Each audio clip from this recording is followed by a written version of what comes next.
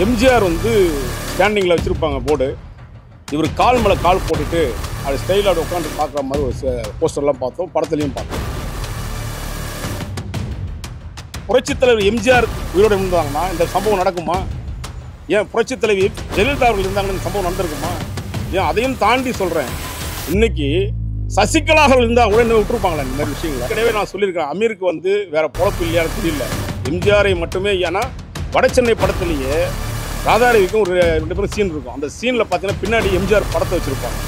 இது எவ்வளோ வன்மோ அந்த அதிமுக என்பது தமிழ்நாட்டில் அழிஞ்சு போச்சுன்றது இது இந்த படத்தை ஒரே ஒரு உதாரணம் வச்சுக்கலாம். சசிகலா இன்னைக்கு தலைமை ஏற்றிருந்தாங்கன்னா இன்னைக்கு சும்மா இந்த படம் ஓடி இருக்குமா இன்னைக்கு? தலைமை ஏற்றிருந்தா சசிகலா தலைமை ஏற்றிருந்தா இது மாதிரி சம்பவம் நடந்திருக்காதுன்னு சொல்கிறேன் அனைவருக்கும் வணக்கம். இன்னைக்கு நம்ம பார்க்க வேண்டிய ஒரு முக்கியமான விஷயம் என்னென்னா தமிழ்நாட்டில் முன்னாள் முதலமைச்சர் பல கோடி மக்களுக்கு வந்து கடவுளாக பாவிக்கக்கூடிய புரட்சித் தலைவர் எம்ஜிஆர் அவர்களுடைய சில திரைப்படங்களில் எம்ஜிஆரை வந்து கொச்சைப்படுத்தணும் கிரிட்டிசைஸ் பண்ணணுன்ற ரொம்ப கேவலமான வார்த்தைகளில் சமீபத்தில் நிறைய படங்கள் வந்துட்டுருக்கு. அந்த இப்போது வந்திருக்க படங்கள் முதல்லேருந்து ஆரம்பித்து குறிப்பாக பார்த்திங்கன்னா ஜிகரதண்டா அப்புறம் பார்த்திங்கன்னா ஒரே நிமிஷம் ஒரே நிமிஷம். ஜிகரதண்டா. சூரியனுடைய படம் விடுதலை அப்புறம் வடச்சென்னை இப்படி தொடர்ந்து பார்த்தீங்கன்னா ஒரு வெப் சீரிஸு இதெல்லாம் பார்த்தீங்கன்னா எம்ஜிஆரை ரொம்ப கேவலமாக கொச்சரப்படுத்துகிறாங்க ஒவ்வொரு வாட்டியும் காட்சி காணொலியை போட்டு. எம்ஜிஆர் வந்து கடவுளாக இன்றைக்கும் தமிழ்நாட்டில் அவர் வாழ்ந்துட்டுருக்காருன்னு தான் மக்கள் நினச்சிட்ருக்காங்க சில பேர். அப்படியாப்பட்ட ஒரு நபரை இப்போ சமீபத்தில் வந்த படம் வந்து உயிர் தமிழுக்கு என் நண்பர் தான் அவர் வந்து இயக்குனர் தயாரிப்பாளர். அதில் குறிப்பாக வந்து அமீர் அவர்கள் நடிச்சிட்ட ப நடித்த படம். அமீர் வந்து ஒரு நல்ல கலைஞன் அதில் எந்த மாற்று கருத்தும் கிடையாது.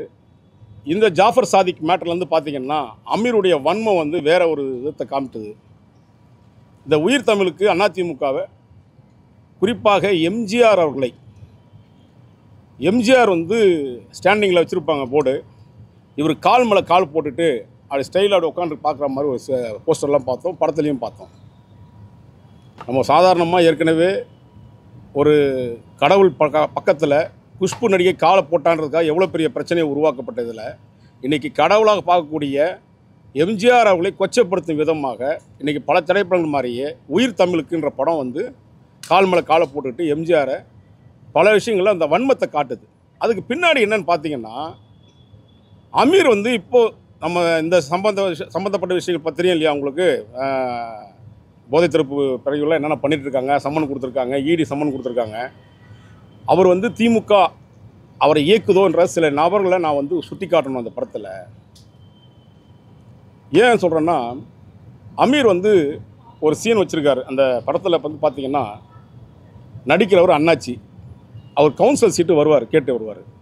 அப்போ மாப்பிள்ளை கேபிள் டிவி வச்சுருக்கா அப்படின்னு அப்படின்னு சொல்லிட்டு மாப்பிள்ளை அமீர் கிட்ட போய் கேட்பாரு மாப்பிள்ளை நான் கவுன்சில் சீட் நிற்கிற மாப்பிள்ளை எனக்கு வாங்கி கொடுங்க மாப்பா வாங்கன்னு கூப்பிடுவார்.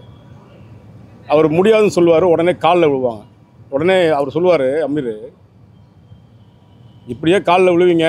அப்புறம் வந்து பதவியில் வந்து உட்காந்துக்கப்புறம் தானாக வந்தேன் சுய சுயமாக வந்தேன் அப்படின்லாம் சொல்லுவீங்க. இதெல்லாம் ஒரு பொழப்பாயா உங்களுக்கு? அப்படின்னு குறிப்பாக எடப்பாடி அவர்களை பழனிசாமியை வந்து கொச்சப்படுத்தியிருப்பார் அதை கூட நான் விட்டுருவேன். ஏன்னா ஏடிஎம்கேன்றது இன்றைக்கி எவ்வளோ மோசமான இடத்துல இருக்குன்னு நமக்கு தெரியும். அதிமுகவே மூணாக இருக்குது ஒரு பக்கம் ஓபிஎஸ் ஓபிஎஸ்ஸுடைய உடைய காணொலி பார்த்தீங்கன்னா அந்த காட்சியில் பார்த்தீங்கன்னா ஓபிஎஸ்ஸை வந்து சித்தரித்து அந்த அந்த எம்ம சமாதியில் அம்மாவுடைய சமாதியில் அவர் வந்து தியானம் பண்ணுற மாதிரி ஒரு விஷயத்தை வச்சுருப்பாங்க. அது இன்றைக்கி அதிமுககாரங்க எப்படி தெரியுது தெரியலன்னு தெரியல. இந்த படத்தில் குறிப்பாக அதிமுகவை மட்டுமே தாக்கப்படணும். அதுவும் புரட்சித் தலைவர் எம்ஜிஆர் அவர்களால். நான் எம்ஜிஆருடைய ரசிகன். அந்த ரசிகன்ற முறையில் தான் இந்த விஷயத்தை நான் உங்களுக்கு வந்து சொல்கிறேன் ஒரு பத்திரிகையாளரை விட நான் ஒரு ரசிகன் நான் சொல்கிறேன் எம்ஜிஆருடைய ரசிகன்ற முறையில். இப்படி வந்து தொடர்ந்து எம்ஜிஆரையும் அந்த அதிமுகவையும் குறி வச்சு தாக்குறதுக்கு பல்வேறு வித வன்மங்கள் இருக்குது அந்த காட்சியில் பார்த்தீங்கன்னா அமீருடைய காலில் விழும்போது அண்ணாச்சி விழுவார். அண்ணாச்சி யார்? திமுக பிரமுகர். திமுகவில் பல கூட்டங்கள் சென்று இந்த இந்த தேர்தலில் கூட வாக்கு கேட்டிருக்காரு. அமீர் யார்? ஓப்பனாகவே சொன்னார் அமீர். என்னன்ட்டு? நான் திமுகவுக்கு தான் வாக்களித்தேன் அப்படின்னு சொன்னார். மதிக்கக்கூடிய ஒரு தலைவனை இந்த இயக்குனர் தயாரிப்பாளமான அமீரும் சேர்ந்துக்கிட்டு இந்த உயிர் தமிழ் படத்தில் குறிப்பாக அதிமுகனுக்கு மானம் கிடையாது ரோஷம் கிடையாது அப்படின்றத வெளிப்படையாக சொல்லியிருக்கிறாங்க.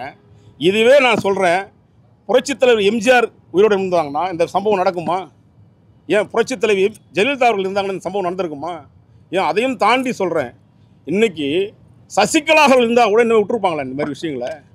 அப்போது இந்த திரையுலகம் முழுக்க முழுக்க திமுகவின் பின்னணியில் தான் இயங்குது. குறிப்பாக இந்த அமீருடைய திரைப்படம் பல்வேறு விதமான பிரச்சனைகளில் தான் வந்து இருக்குது அதனால தான் நம்ம வந்து புகார் கொடுத்து குறிப்பாக எம்ஜிஆரை அதுவும் அதிமுகவை இவர் வந்து கொச்சைப்படுத்தும் விதமாக இந்த படத்தை எடுத்திருக்காங்க. இவர்களுக்கு இப்போ இவ்வளோ கஷ்டத்தில் இருக்காங்க. எப்படி இந்த பணம் வந்துச்சு? சார் ஏதாவது அதிமுக தலைவர் யாருன்னா பேசியிருக்கீங்களா இதை பத்தி? சார் எங்கே இருக்காங்களே தெரியல சார். அதனால தான் சார் நான் கொடுத்துருக்கேன். எனக்கு பாருங்க அதிமுக நான் வந்து எடப்பாடியோ அல்லது வந்து சசிகலாவையோ அல்லது வந்து ஓபிஎஸ்ஸோ பற்றி விட்டுருவோம். நான் பெருமையெல்லாம் பேசலை. அந்த தலைமை ஏற்றிருந்தா சசிகலா தலைமை ஏற்றிருந்தா இது மாதிரி சம்பவம் நடந்திருக்காதுன்னு சொல்கிறேன் அது அந்த அம்மாவுக்கு தைரியம் இருந்துச்சுங்க. அதனால தாங்க அதிமுக நடத்த முடிஞ்சுது. இத்தனை ஆண்டு காலம் அந்த அம்மா பின்னாடி அந்த அம்மா பின்னாடி இருந்துட்டு சசிகலா அம்மா நான் ஏங்க அவங்க ஆதரவோட? நான் பத்திரிக்கையாளருங்க எதுக்குங்க இந்த வேலை எனக்கு? எவன் கட்சி ஆரம்பிச்சு என்ன பண்ண எந்த இந்த இந்த பாருங்க. இந்த திராவிட நான் எம்ஜிஆரோட ரசிகன்னு திராவிட இயக்கம் ஆரம்பித்து அறுபது ஆண்டு காலத்தில் நாடு நாசமாக போச்சுன்னு மட்டும் பார்த்துக்கிட்டோம். எம்ஜிஆர் இந்த விஷயத்தில் ஒரு நல்ல அரசியலையும் தாண்டி ஒரு நல்ல நடிகனாக பார்க்காம கடவுளாக பார்க்குறான். இன்றைக்கும் இருக்கிறான் பல லட்சம் பேர் எம்ஜிஆர் உயிரோட நிற்க நினச்சிட்டு இருக்கிறான். புரியுதுங்களா? அப்போ அதிமுக காரனுக்கு இதை கேட்கணுமா கேட்கக்கூடாதா? கேட்கல. அதை தான் அதுக்கு தான் புகார் கொடுத்துருக்கேன் ஒன்றிய அரசு சில காட்சிகள் கட் பண்ணா மத்திய அரசு கட் பண்ணுது. இதை எடுத்துட்டாங்கன்னு சொல்றாங்க. புரட்சி தலைவர் எல்லாருக்குமானவர்ல. அப்ப சென்சார் போர்டும் அதை மதிக்கணும்ல. அதாவது சென்சார் போர்டு பெரிய படம்னா சின்ன படம்னா ஒரு விஷயம் பண்ணுவாங்க. கபாலின்னு ஒரு படம் வந்துச்சு. டம டம டமன்னு சொல்லுவான். ரத்தம் அப்படியே பிசிறி ஓடும். ஆனால் என்ன சர்டிஃபிகேட் கொடுத்தான் அவனுக்கு? என்ன சர்டிஃபிகேட் கொடுத்தாங்க? யூஸ் சர்டிஃபிகேட் கொடுக்குறீங்க. கொடுக்கலாமா? நீ படம் எடுக்க வரதே பெரிய விஷயம் தயாரிப்பாளர்கள். படம் எடுத்து முடிச்சதும் ரிலீஸ் பண்ணுறது அதை விட மோசமான சம்பவத்தில் இருக்கிறான். ஒரு ஒருத்தரும் இன்றைக்கி முதலாளிகள் எல்லாமே தயாரிப்பாளர்கள் எல்லாமே முதலாளி. எம்ஜிஆர் தான் சொல்லுவார். இன்றைக்கி வந்து எம்ஜிஆர் யார் பல தயாரிப்பாளர்களை முதலாளின்னு தான் கூப்பிட்ருக்காரு அந்த வழி அவருக்கு தெரியும். நம்ம எப்படி வழியாக வந்தோன்னு இன்றைக்கி சினிமாவில் இருக்கக்கூடிய தயாரிப்பாளர் ஒருத்தனாவது நல்லா இருக்கிறான்னு ஒரு நாலஞ்சு பேரை தவிர சொல்லுங்கள் எல்லாம் பிச்சை எடுக்க ஆரம்பிச்சிட்டான். வேறு வழி இல்லை. இந்த விஷால் இப்போ வந்து பதவி வைத்தார் எட்டு கோடி ரூபா எடுத்துகிட்டு போயிட்டான் ஊழல் பண்ணி. யார் கேட்டாங்க இதை பற்றி நான் தானே கேட்டேன் நீதிமன்றத்துக்கு போனேன். நான் தானே போராடினேன். இன்றைக்கி வரையும் அவன் போட முடியலல்ல. இதோ இது அடுத்த கட்டம் நடிகர் சங்கத்துக்கு வந்தான். இதோ நடிகர் சங்கம் வந்து சமாதியாகி போயிடுச்சு. இன்றைக்கி வரையும் அது ஒன்றுமே இல்லையே. இப்படி வரவெல்லாம் சொன்னீங்க அமீர் சார் வந்து அமீர் ஒரு சாரி அமீர் வந்து கால் மேல கால் போட்டு வந்திருந்து அந்த கொஸ்டின் நான் தான் எழுப்பினேன் ஆதம் பாவா டேரக்ட் ஆதம் பாவா கிட்ட ம். அவர்கிட்ட கேட்கும்போது என்ன சொன்னாருன்னா "அஹ் சார் இது மாதிரி வந்து காலை கீழே போட்டா அவர் வழுக்கி விழுந்துருவாரு. ஸோ அது சப்போர்ட்டுக்காக தான் நான் காலை வச்சேன். அப்படின்னு சொல்லிட்டு அவர் தான் ஒரு ப்ரெஸ் மீட்லேயே சொல்லியிருக்காரு. யார் சொன்னது? ஆதம்பாவா சொன்னாரா? நான் தான் கேள்வி கேட்டேனே அந்த கேள்வி கேட்டதுக்கு அவர் அதான் ஆன்சர் பண்ணாரு அப்போ அது எப்படி நம்ம தவிர பல காவல் நிலையத்தில் பார்ப்போம்ல வலிக்கு வந்துட்டோம்னு சொல்லி கட்டு போடுறது பல காவல் நிலையத்தில் நம்ம சொல்லியிருப்போம் பார்த்துருக்கோம். பல செய்திகள் பார்க்குறோம்ல. என்ன ரீசன் சொல்லுவீங்க? எப்படி வலிக்கு வந்துருவாங்க? எது பேலன்ஸ் இல்லாத இடம்? கார்ல. பேலன்ஸ் எல்லாம் காலை வச்சுட்டு பண்ண முடியாதா? ஏன் நிற்க முடியாதா? உங்களுக்கு வேணும்னு எம்ஜிஆர் அசிங்கப்படுத்தணும் நோக்கம். அந்த அதுக்காக நீங்கள் இந்த வேலையை பார்க்குறீங்க. ஏன்? ஒரு சீன் வைக்கிறது எப்படி வைக்கணும்னு தெரியாது. ஃபைட் சீன் அது? கால் மேலே காலை போட்டு இந்த திமுறா உட்காந்துருக்காருன்னா கார்ல வந்து அவ்வளவு பெருமையா எம்ஜிஆர் பேசியிருப்பாரு சார் எம்ஜிஆர் நீங்கள் ஒருத்தன் புகழ்ந்து பேசுறதா சொன்னேன் வாயிலுடைய உதடு இருக்கு இல்லையா? உதடில் நீங்கள் என்ன வேணும் உங்கள்கிட்ட பேசிட்டு இருக்கும் போதே உள்ளுக்குள்ள மனசில் என்ன நினைக்கிறோம்? அந்த வார்த்தை உங்களுக்கு தெரியுமா? அந்த மாதிரி தான். எம்ஜிஆரை நான் சொன்ன இந்த உயிர் தமிழ் படம் மட்டுமல்ல பல படங்கள் நான் உதாரணத்துக்கு சொல்லிட்டேன். எம்ஜிஆரை கொச்சப்படுத்தணும் கொச்சப்படுத்தணும் அசிங்கப்படுத்தணும். அதுவும் குறிப்பாக அதிமுக நீங்கள் என்ன வேணும் அரசியல் ரீதியாக எடுத்துகிட்டு போங்க அதை பற்றி எனக்கு கிடையாது. ஆதம்பாவாவையும் அமீரும் வந்து பின்னாடி இருந்து ஏற்கனவே நான் சொல்லியிருக்கிறேன் அமீருக்கு வந்து வேறு பொழப்பு இல்லையான்னு தெரியல. எம்ஜிஆரை மட்டுமே ஏன்னா வடசென்னை படத்துலேயே ராதாரவிக்கும் ஒரு ரெண்டு பேரும் சீன் இருக்கும். அந்த சீனில் பார்த்தீங்கன்னா பின்னாடி எம்ஜிஆர் படத்தை வச்சுருப்பானுங்க. இது எவ்வளோ வன்மோ அந்த காலத்துலேயே நடந்திருக்கு பார்த்தீங்களா இப்படி சம்பவங்களை திரைத்துறை வந்து எப்படி வந்து ஒத்துக்க மாட்டோம்? மக்கள் ஒத்துக்கிறான்னு தெரியல. ஏன்னா மக்கள் இந்த படத்துக்கு வந்து பெரிய வரவேற்பு கொடுத்தாங்களா? சின்ஸ் ஆனால் நல்ல வரவேற்பு இருக்குன்னு சொல்கிறாங்க இப்போ.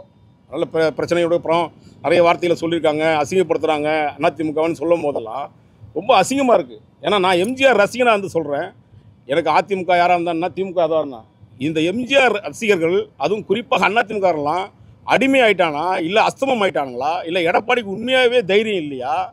இல்லை கொடைநாடு பிரச்சனைக்காக பயந்து பகுறாரா ஏன் இன்றைக்கி அதிமுக வந்து மூணாக பிரிஞ்சிருக்கிற ஓபிஎஸ் என்ன பண்ணிட்டு இருக்காரு? இதையும் தாண்டி சசிகலா அம்மையாரை பற்றி சசி பண்ணி பேசியிருக்காங்க. ஏன் டிடிவி தினர் என்ன பண்ணிட்டு இருக்காரு? அப்போ அதிமுக என்பது தமிழ்நாட்டில் அழிஞ்சு போச்சுன்றது இது இந்த படத்தை ஒரே உதாரணம் வச்சுக்கலாம் அதிமுக அவ்வளவு வீக்கா இருக்குன்றீங்களா ஒரு அஹ் உறுதியா நான் அதான் சொன்னேன் சசிகலா இன்னைக்கு தலைமை எடுத்திருந்தாங்கன்னா இன்னைக்கு சும்மா இந்த படம் ஓடி இருக்குமா இன்னைக்கு? ஆமாங்க மக்கள்கிட்ட கொண்டு போய் என்னங்க சேர்க்குறீங்க நீங்க? என்ன போய் சேர்க்குறீங்க? அமீருடைய வன்மம் தான் இந்த படத்துக்கு இவ்வளோ பெரிய விஷயத்த இவங்க பப்ளிசிட்டி பண்ணிக்கிறதுக்காக நீங்க ஏன் புரட்சி தலைவரை வந்து கேவலப்படுத்தணுன்றது என் நோக்கம். எவ்வளோ காசிங்கம் ஒருத்தனை கூட அறிவு இல்லையே இப்போ அதிமுகவில் நான் தான் சொன்னேன் என் நண்பர்களே. இருக்கிற அவங்களுக்கு எதுவுமே இல்லைன்றாங்களா ஆமாங்க இல்லைன்றது தானே உண்மை. இன்னைக்கு அதிமுக எப்படி இருக்குன்னு நம்ம பார்க்கலையா? எனக்கையாவது நீங்கள் அவங்க அரசியலுக்குள்ள ஆயிரம் விஷயம் இருக்கட்டங்க நான் கலைஞரை பற்றியோ அல்லது உதயநிதி பற்றியோ அல்லது வந்து த முதலமைச்சரை பற்றியோ. சார் எனக்கு உணர்வு இருக்குது சார். நான் நிறைய வன்மங்களை வந்து நான் சொல்கிறதெல்லாம் கண்டிச்சுட்டு இருக்கேன் சார். நீங்கள் பார்க்கல என் ட்விட்டர் பதிவு போய் பாருங்கள் எல்லா விஷயத்தையும் பதிவு பண்ணிட்டு இருக்கேன் ஒரு ஒருத்தரும். எம்ஜிஆர் தொட்டா எம்ஜிஆர் அசிங்கப்படுத்தினா நான் நிற்பேன் சார். ஏன்னா என்னை மட்டும் இல்லை என்ன மாதிரி லட்சக்கணக்கான இல்லை லட்சக்கணக்கான பேர் இருக்கான். புரியுதுங்களா? திமுக கூடிய வன்மை அதான் சொன்னேனே. திமுக அண்ணா திமுக எனக்கு புரியல சார். அதிமுக எனக்கு புரியல. என்னன்னா அவ்வளோ எடப்பாடிக்கெல்லாம் சார் உண்மையாக சொல்கிறேன் ஒரு மானம் உள்ள மனிதனா நீங்கள் சொல்லிக்கிறீங்க பச்சை தமிழ்னு பேசிக்கிறீங்க பச்சை தமிழ் இப்படி தான் விடுவாங்களா? எம்ஜிஆரை நீங்கள் வந்து இவ்வளோ கொச்சப்படுத்துறாங்க ஒரு இயக்கத்தை தூக்கி வச்சு எந்தக்காக போராட்டத்துக்காக அந்த வந்து எம்ஜிஆர் எவ்வளோ சித்திரவாதி அனுபவிச்சிருப்பார் எவ்வளோ பிரச்சனை அனுபவிச்சிருப்பாரு அந்த பதினோரு வருஷம் ஆட்சி கொடுக்கும் மக்களுக்கு நல்ல ஆட்சி கொடுத்தான்னு சொல்கிறோம் அப்படி அந்த வழியில் வந்த ஜெயலலிதா அவர்களை வந்து கொச்சப்படுத்துறீங்க. இது மாதிரி எல்லாத்தையும் அதான் சொன்னேன் சார். நான் பார்த்துட்டேன். நான் வந்து- எம்ஜிஆர் பாண்டி தான் பேரே வச்சிருக்காரு. எம்ஜிஆர் பாணி பேர் வச்சு அதான் சொன்னேன் சார். பேரை வச்சுக்கிட்டு கடைசி பாடின பாடல் சொல்லி மூன்று எழுத்து வள்ளல் சொல்லி பாடியிருக்காரு. இவ்வளவு அளவுக்கு வச்சிருக்கும் பொழுது ஒரே ஒரு இஷ்யூ அந்த கார்ல வரும்போது கால் போட்டது தான் தெரியுதா? சார் நான் என்ன சொல்றேன்? இது மட்டும் இல்லை. உயிர் தமிழ் உயிர் தமிழுக்கு மட்டும் நான் சொல்ல. இல்ல இல்ல உயிர் தமிழுக்கு மட்டும் நான் சொல்லல. இதுக்கு முன்னாடி இந்த வடச்சென்னை சொல்லுங்க ஜிகரதண்டா சொல்றேன்? இந்த இத்தனை படங்களை சொல்லிட்டு இருக்கேன். புரியுதுங்களா? தொடர்ந்து வரக்கூடிய காலகட்டம் இந்த ரெண்டு வருஷத்துல வந்த படங்கள் எல்லாமே. எனக்கு ஏன் இல்லைங்க தொடர்ந்து வந்துட்டே இருக்குல்ல. ஒரு பிரச்சனையை எப்படிங்க சந்திக்க முடியும்? ஒருத்தன் பிரச்சனையை ஒரு வாட்டி சொன்னா பரவாயில்ல. அந்த ரெண்டு வருஷத்துல மட்டும் நோக்கம் என்ன? இதே அமீர் படத்துல நடிச்சதா இல்லையா? வடசென்னை படத்துல பண்ணாரா இல்லையா? எம்ஜிஆர் அசிங்கப்படுத்தாங்களா இல்லையா? அந்த ஆட்சி சார், அது யார்? அவன் நண்பர் தானேங்க வெற்றிமாறன். எதுல நல்லதா எதுல எதுல எதுல நல்லது காட்டி எந்த- படத்துல நல்லது காட்டியிருக்கான்னு சொல்றீங்க? அந்த நீங்க அந்த ராதாரவி ஒரு விஷயம் கேட்பார் அவர் மாவட்ட செயலாளர் மாதிரி ஒரு பொறுப்பு வச்சுருப்பான். கரவேஷ்டி போட்டிருப்பாங்க. போட்டுட்டு சொல்லுவார் பின்னாடி எம்ஜிஆர் பழக்கம். ஏப்பா நம்ம தலைவர் அதெல்லாம் விட்டுருவாரா? உங்களை அப்படின்னு வரனா தலைவர் யார்? யார் அசிங்கப்படுத்துறீங்க? எம்ஜிஆர் அசிங்கப்படுத்துறீங்க நீங்கள் இனி வரும் இய- இயக்குனர் எம்ஜிஆர் வச்சு படம் பண்ணாங்க. எம்ஜிஆரை சார் எம்ஜிஆரை காட்டுறதுக்கு சார் நிறைய விஷயங்கள் இருக்குது சார். எம்ஜிஆரை பயன்படுத்துங்க சார் நான் வேணாம் சொல்ல நல்ல விஷயங்கள் நிறைய இருக்குது சார். எம்ஜிஆர் தான் சார் ரோல் மாடல் பல பேருக்கு இன்றைக்கி அதை பயன்படுத்துங்க. யாரோ உங்கள் பின்புடாடி இருக்காங்கன்னு சொல்கிறதுக்கான ஒரு இயக்கத்தை அசிங்கப்படுத்துறதோ இல்லை ஒரு தனிப்பட்ட தலைவன் நீங்கள் இயக்கத்தை கூட அசிங்கப்படுத்திருப்போம் அவங்க கூட? வன்மையாக கண்டிக்கிறேன். இனிமேல் அந்த விஷயத்தை பண்ணீங்கன்னா சட்டப்பூர்வமாக நடவடிக்கை எடுக்கப்படும். வந்து இதை நீக்கலாம்.